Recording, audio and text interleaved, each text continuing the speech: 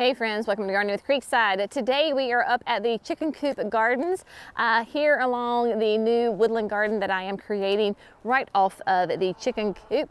What we're going to be focusing on today is I have three containers that we are going to pot up. Yes, I have a group of three unique stone containers. This, this is the rope and weave style and it is the same container, right, in three different sizes. So that is a great uh, tip option for you when you are in an area, maybe like I am here in the woods. Uh, yes, I have stuff in the ground, but the reason that I am using containers in this area is because when I clean out the chicken coop, I have to pull the John Deere right up here. And so I can't put plants in the ground because they'll get run over by the John Deere. These three containers are gonna be kind of tucked up out of the way. If I were to ever need to move them because of cleaning out the chicken coop, then I can do that. That is certainly an option. So whether you have, you're trying to get a garden underneath some trees or it's maybe it's on gravel, right? There's somewhere that you really can't plant directly in the landscape, but you still want to have a garden there. Use your containers. That is the beautiful thing about it.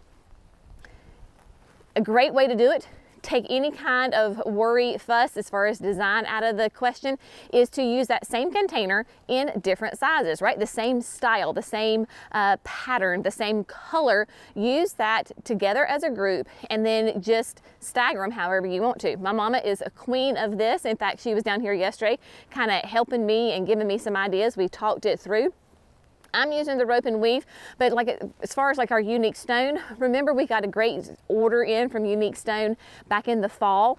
We have several different styles of pieces that you can easily group together in this fashion. This is just the shape that worked well for me. There's one that's called like the Beau Jardiniere. I love those containers. They are so cute, but they're a little skinnier and more columnar. And here, it just, I don't think it would look be the right size for this space, but I love those. Still come in three different sizes. Then there is, uh, it's called the Doppio, and so it is kind of short and round, very nice and um, low profile. So that would be a great option for you as well. Again, comes in three different sizes. And then if you wanna go big, right, the Jumbo Jardinières. These are nice, clean, classic containers that the really large jumbo, they're all called jumbo jardinières. They just have different sizes in there. But one of the biggest ones, you literally could plant a tree in it. It is huge. But you have all those different options and you can pair them however it is that you want. What I did do ahead of time is each of these containers is sitting on um, a piece of stone because I have found over at the pines where all of our other unique stone is, it is the winter, obviously, right? And we are historically very wet here in the winter, um, and our ground is absolutely saturated. When some of these containers, the way that they're making contact on the ground and the ground is so saturated, they're not draining. So I could have like one of those jumbo jardinières, it was like halfway full of water just from rain because it was directly on the contact of with the ground. So I went ahead and put, um, these were just some stone pavers that we had left over. You could use bricks, you could use kind of whatever. If you had little feet risers, you could certainly use that. But I would just kind of encourage you to do something so it's not sitting directly on the ground in case it's like with me and that your ground is saturated. That way the water can um, easily drain out of your pot because you do not want to flood your plants. What we are going to be planting today, uh, really fun, two shrubs shrubs and a perennial. What I'm gonna do is kind of set the camera up so I can show you, but we're gonna do something a little unique here. We are going to turn one of these unique stone containers into a self-watering container. Yes, that is right. We're gonna take a traditional pot, turn it into a self-watering container. I'm gonna show you how we're gonna do it.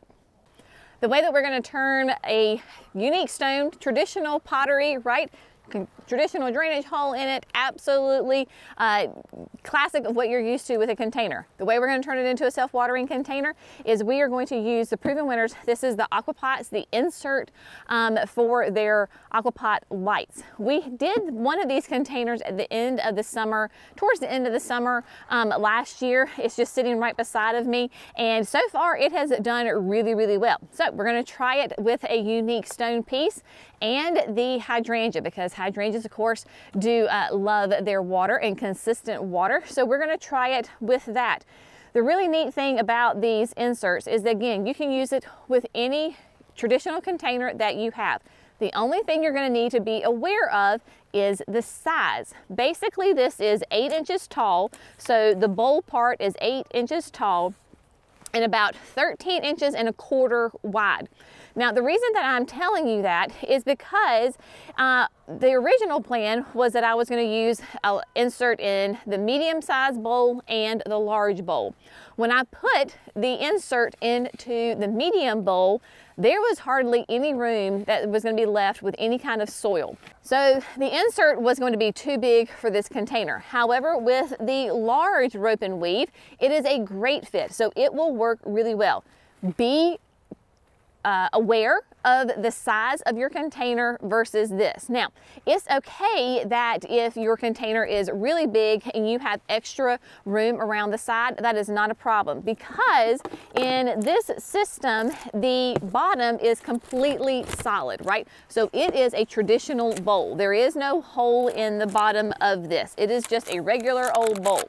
Then you have, if you're familiar with aquapots, then you have more of, of, along the lines of what you are familiar with, right? So you have, this is your soil tube, it has the slits, the water can get to it, soil goes on top of here the way that water will come out of the bowl, so that way you don't have to worry about being too much water in here, are there are channels right here that when the bowl fills up with water, water will come down those channels and then come out and then leave the hole of your container like it traditionally would.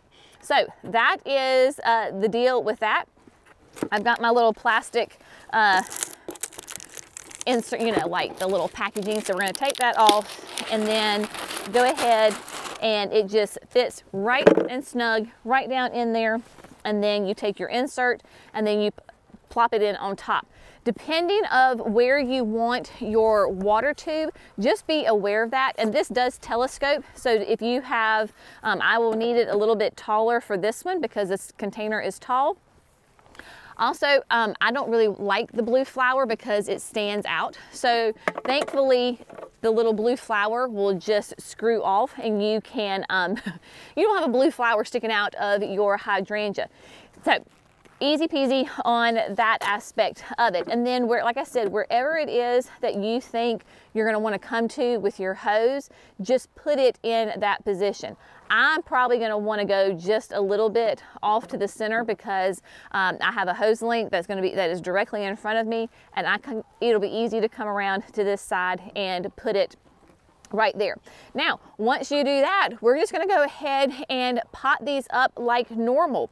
Uh, how do I use, uh, pot up my containers? Well, it is very easy. I have a very simple method that I use. I use a great quality compost like the Land and Sea, and then of course my Proven Winners potting soil.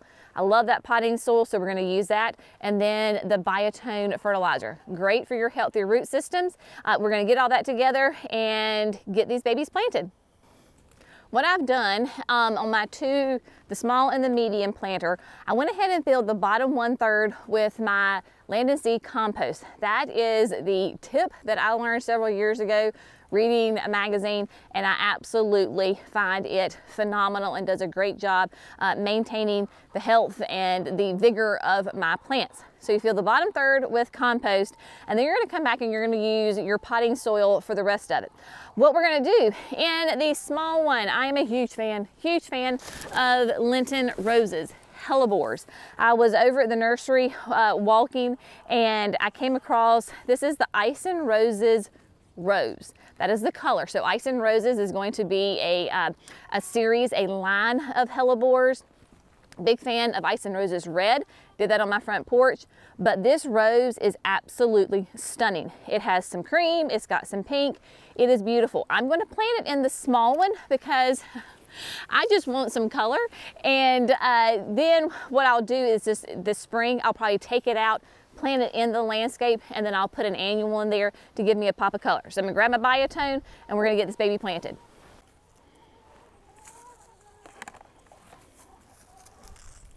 pulled out the hellebore and you will notice that this is pretty root bound, I would say.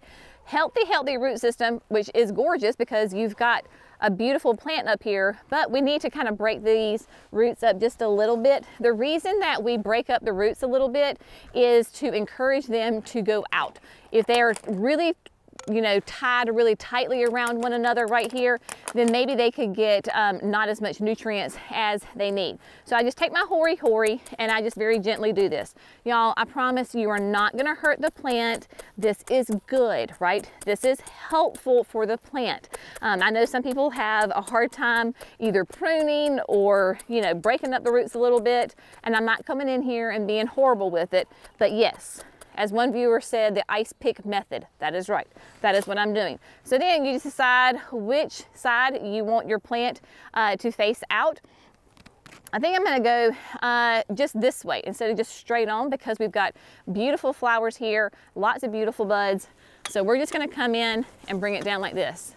So then once we place it in there, we're just gonna come back with our potting soil and fill in all around. Brenda got my container. I wasn't thinking and I gave it to her. So I'm just using my hands and getting in there and uh, yep, add it in. So we're gonna add all the soil so that you have no roots exposed to air. That's a, a big thing that you wanna make sure you've got nice good coverage. And then what we're gonna do is once the soil's in there, I always like to come back with a nice top layer of the compost again, do a little top dress. That way it feeds the plants and it uh, just provides a really nice cover for it.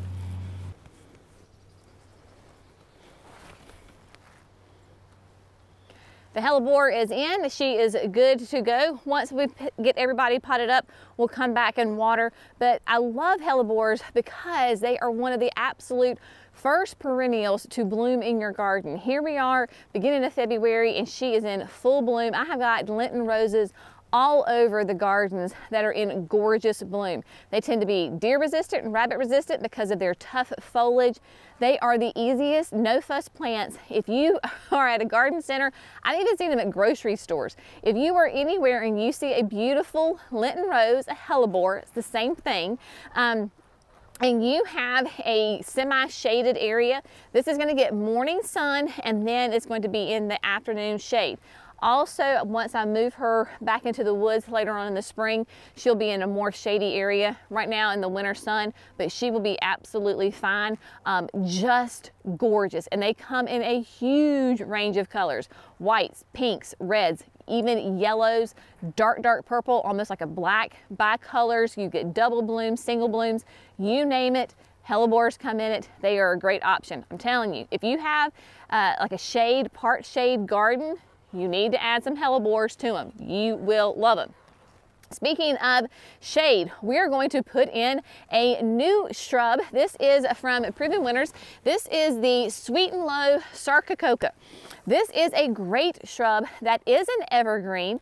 It is going to be more on your shade side. So it can go anywhere from full shade to part shade here in this spot, this is going to get morning sun and then it's going to be in the shade in the afternoon. So it's going to get about four to five hours of morning sun and then in the shade. I got these from Proven Winners um, back last year in, gosh, I guess it was like the um, early spring. They have stayed in this deer, uh, this one gallon container for the almost like almost an entire year tough as nails. You give it too much water, it's fine. You forget to water it, it's fine. It is deer proof, evergreen, it is covered in buds. They will bloom uh, these beautiful fragrant flowers in early spring that attract those pollinators. Gorgeous glossy green leaves, so fun. So we are going to plant that one in this container. Now, we're gonna try a little trick here. I learned this trick, oh gosh, I don't know, a while ago and sometimes I forget to use it. So I just taken my, my plant out and I'm just gonna set it right here off to the side. I'm gonna take my container and I'm going to uh, put it down in the pot. Now it's a little low, so what I'm gonna do is add some potting soil. Nope, nope, nope, nope, nope. I gotta keep the dog off of it. That's not hers. This is mine. You can have it later. Um, add some soil so that I get it at the right height, right? Bring that back. I'm gonna zhuzh it just a little bit to get my biotone and the compost. There we go. Take the container, put it where I want my plant, put it right there. I'm gonna try to put the soil around the, the edge of the pot and not inside, but if some, if some goes in, it's all right.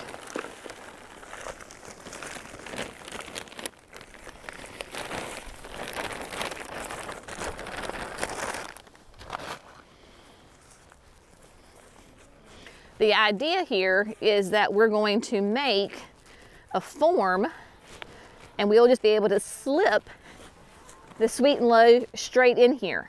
And we won't have to make a mess like I did with the Lenten Rose as far as um, trying to get the soil all the way around.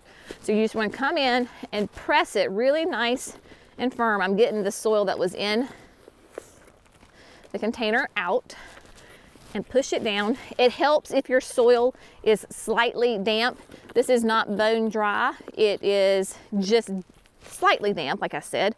So we go there and then we gently pull, do a little twist, pull it out, take your plant. This is not root bound at all. And we slip it in. Haha. There you go. Get her twisted right. Uh, let's see. We're gonna go that way. Now, Sarcococca is a great ground cover um, because it is nice and low.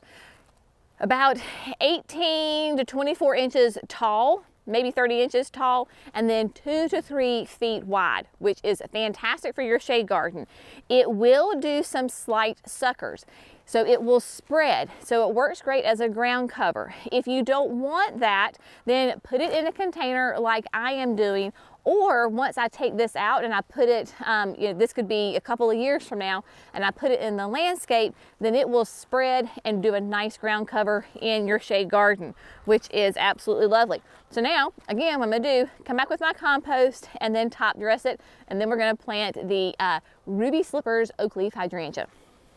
Now we're going to turn our attention to planting the hydrangea. As I mentioned, we are going to be planting a Ruby Slippers oak leaf hydrangea. I do not have any oak leaves in this garden. I have several panicles, I have several serratas, and I have several macrophyllas. So we are going to do an oak leaf. We're going to switch it up. I love ruby slippers because it uh, is going to be on more of the petite side of an oak leaf hydrangea. Eventually, I am going to have to move it out of this container because it will get too big. If I can get two years with this and it stays happy and I'm not having to constantly water it, then I will feel very happy. At that point, I will then take it and move it into the garden. If you're going to plant shrubs, perennials in containers, one thing that I have learned just from experience is that you may, she just stole my pot is that you may want to consider the shape of your container. When you have um, a wider at the top and more narrow at the bottom, it makes it easier to get the plant out because the root system will just come right out, right? It's just the simple um, logistics of the shape of the pot. I have found that some of the more challenging pots are the ones, and I don't know what you would call it, but where they're like wide at the bottom, maybe they're like an egg shape where they're like wide in the center and then they start to come back up at the top. Speaking of egg, somebody laid an egg and then they come back at the top and they're more narrow and they come in. So the neck, the opening is narrow and then you've got a wide bottom. You can't pull that plant out because the opening is smaller than the widest part of your container. It is just something to think about. I'm not saying you can't do it, but you're gonna have to really like work the plant and cut some stuff out. It is more challenging to do. What we're gonna do here, because we have the aquapot insert, I'm not gonna put compost down first.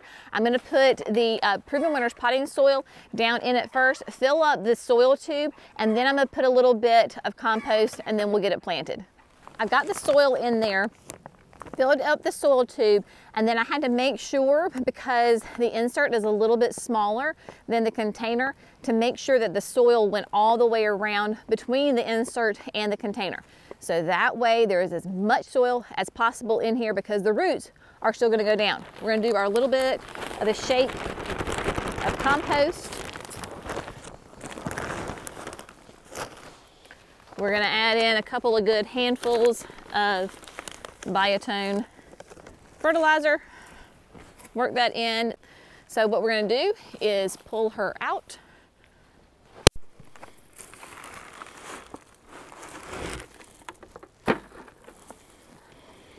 Let Britta come get it. Now, you'll notice that the, the root ball is a little bit higher than my container, right? So I'm going to just move her off to the side just a minute. Pull back some of that soil, compost, biotone. Make sure she's turned the way that I want her to be turned.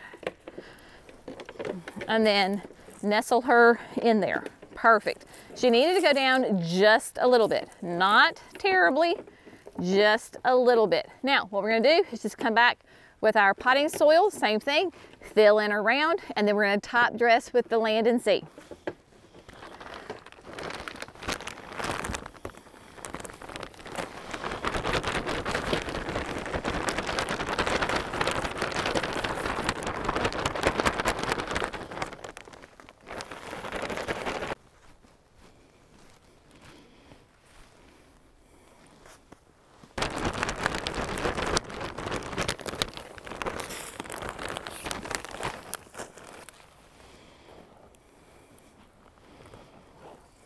All right, Ruby Slippers is planted and she is top dressed with a land and sea.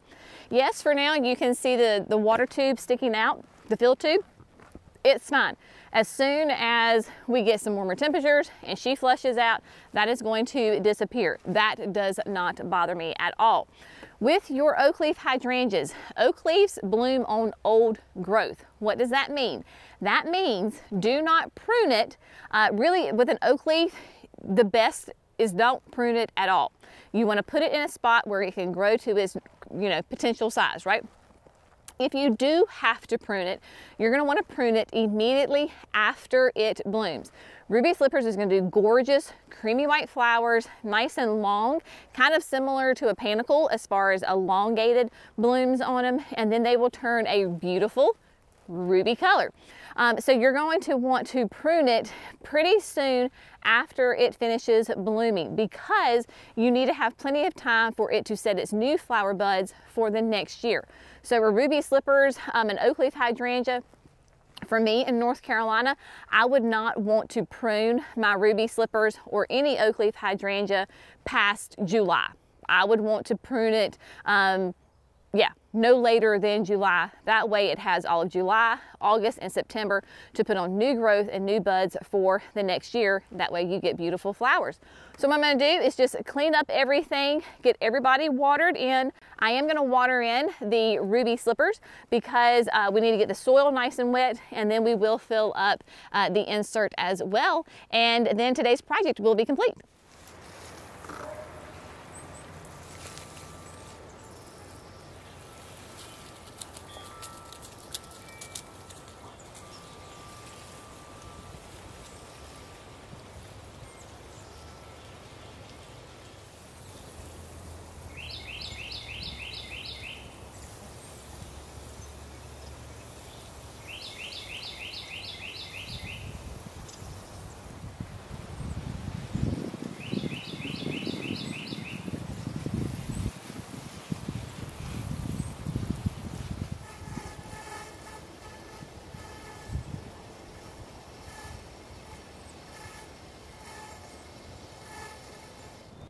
Okay, my friends, today's project is complete. We got all three containers planted.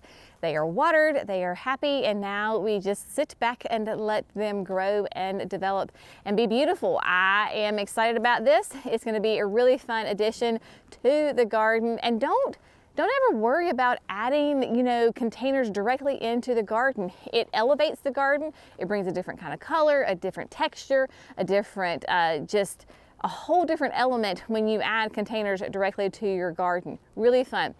That ruby slippers probably stay there for at least two years, get nice and big and developed and will be beautiful. The sweet and low be about the same thing probably. You'll know that it's time to get them out of the containers when you can't keep enough water on them. That's the beautiful thing about using the Aquapot insert is that that hydrangea is going to get consistent water uh, throughout the entire growing season. So once you notice that the plant is nice and large and developed, you can't keep it watered enough. Uh, if you try to find some loose soil around the edges and it's just solid roots, then you know it's going to be time to take it out, add it to the garden, and then you get to replant your containers. That Ice and Roses rose will go into the landscape this spring and then I'll pop in some sort of flowering annual uh, most likely, I'm thinking like a, a Rockapulco double impatient, uh, you know, a, Browallia, something that's more on the shade loving side that still gives me a nice pop of color and it'll be really, really fun. If you're interested in those inserts, we have them both online and at the Garden Center when we open up on February the 17th. So you can grab those. So start measuring your containers, see which ones the insert will fit into and start making plans. As always, we so appreciate you. We hope you found this fun, informative, and inspirational. Y'all have a great day and we'll see you in the next video. Bye friends.